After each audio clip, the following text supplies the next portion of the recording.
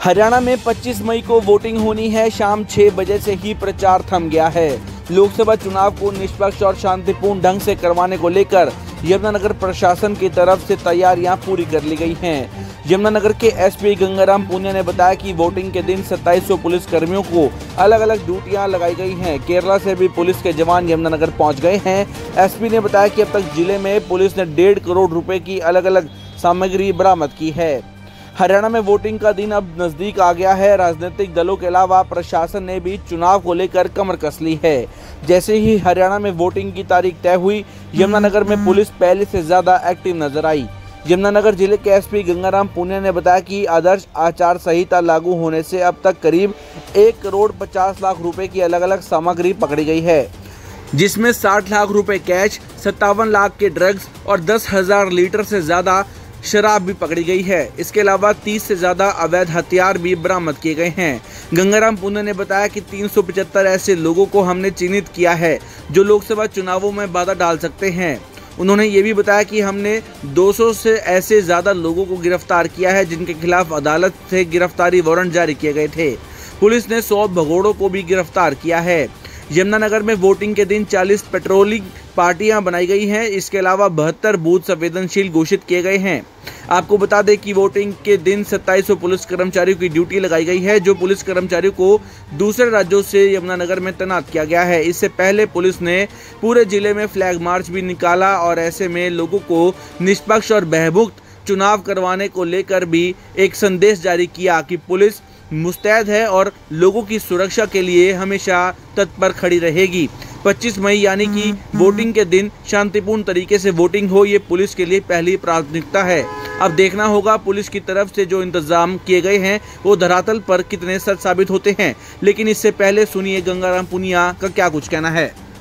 देखिए जैसा कि आपको विदित है जो मतदान समाप्त होने की 48 घंटे पहले मत मत मतदान के मत तो है तो प्रचार प्रसार बंद हो जाना चाहिए। तो आज शाम से जैसा कि प्रचार प्रसार बंद हो गया है और आगामी जो कल और परसों, खास तौर पर जिस दिन चुनाव होने हैं, उस दिन पूरा चुनाव शांतिपूर्ण, निष्पक्ष ढंग से संपन्न हो, इसके लिए जिला पुलिस के द्वारा प्रभावी योजना तैयार की गई है।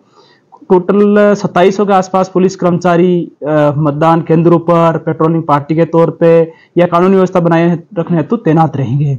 कुल मिला हमने ज़िले में बेहतर ऐसे मतदान केंद्र आइडेंटिफाई किए हैं, जो कानूनी व्यवस्था की दृष्टि से थोड़े से संवेदनशील है। तो उस पर हमने जो हमारे पास में बाहर से जो सीआईएसएफ और केरला पुलिस से भी जमा आए हैं यहाँ पर उनको तैनात किया गया है ताकि उन मतदान केंद्रों पर जो मतदान है बिल्कुल निष्पक्ष ढंग से संपन्न कराया जा सके। आ, साथ ही पूरे ज़िले में हमने 40 पेट्रोलिंग पार्टी बनाई गई है। वो मतदान केंद्र में जो ड्यूटीज़ लगाई गई है उसके अलावा है ताकि यदि कहीं से भी कुछ इस प्रकार की आशंका हो तो पेट्रोलिंग पार्टी वहाँ पर तुरंत पहुँच करके स्थिति को काबू कर सके।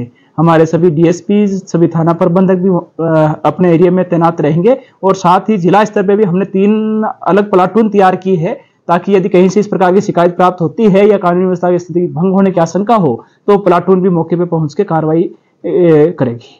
देखिए, खासतौर पर निष्पक्ष चुनाव कराना शांतिपूर्ण चुनाव कराना तो संपन्न है कि जो असामाजिक तत्व हैं या जो गैर कानूनी गतिविधियों में संलिप्त रहते हैं, उनके खिलाफ कड़ी कार्रवाई की जाए।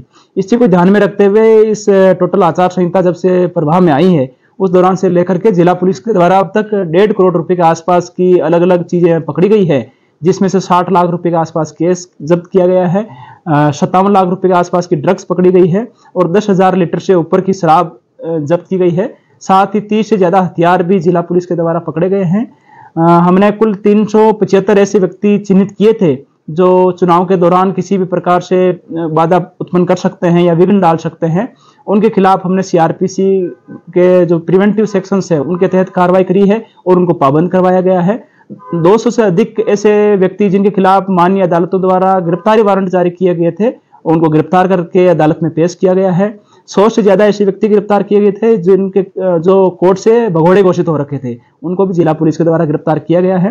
तो इस प्रकार जिला पुलिस लगातार अपनी तरफ़ से पूरी नज़र इस पर बनाए रखे हुए हैं। साथ ही मेरी सभी मतदाताओं से भी अपील है कि 25 मई को अपने घर से ज़रूर बाहर निकलें, अपना जो भी आपका पोलिंग बूथ है वहाँ जाएँ और अपना जो अमूल्य मत है उसका प्रयोग ज़रूर करें। ये आपका एक एक अमूल्य मत हमारे लोकतंत्र को मज़बूत और प्रभावी बनाता है। साथ ही यदि हमारे यमुनानगर ज़िले में किसी भी व्यक्ति के पास में ऐसी कोई सूचना है कि मतदाताओं को कोई गैर कानूनी ढंग से प्रभावित करने की कोशिश कर रहा है या किसी प्रकार का प्रलोभन दे रहा है या कोई कानूनी व्यवस्था की स्थिति खराब करना की कोई ऐसी है तो हमें ज़रूर सूचित करें। हम ये सुनिश्चित करेंगे कि उस सूचना पर प्रभावी कार्रवाई की जाए और जो भी हमें सूचना प्रदान कर रहा है उसका नाम गोपनीय रखा जाए।